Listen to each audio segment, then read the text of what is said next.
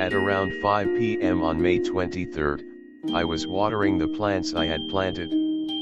All of a sudden my eyes fell on a leaf in a lemon plant, which seemed to be a little different from the other leaves.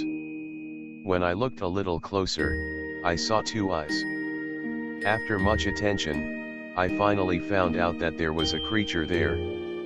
It was a very strange creature. The color was green like leaves, the face was scary, and the head and mouth were bigger, compared to the body. After looking at it for a while, I finally remembered that such insects always ate the leaves of my plants and I always killed them as soon as I saw them.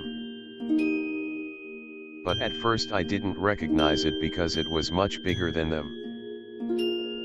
It was so big that I didn't want to kill it. I named it the green dragon, and raised it in a bottle house with a few leaves. The first night he ate all the leaves. And the next day, I put more leaves again. But it did not eat the leaves, it went to a corner and stayed there in same position for several days. It became smaller day by day. And one day I saw its head disappears. I was convinced that it is changing into other insects because of the change in its form. When I was small, I had read about it.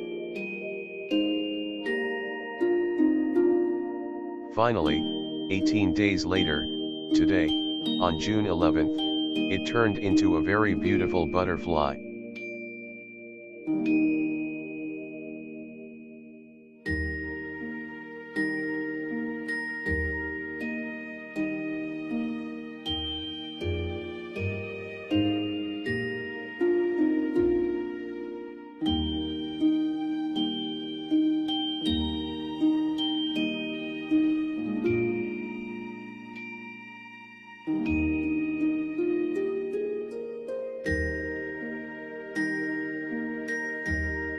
Now she can travel around this beautiful world, freely.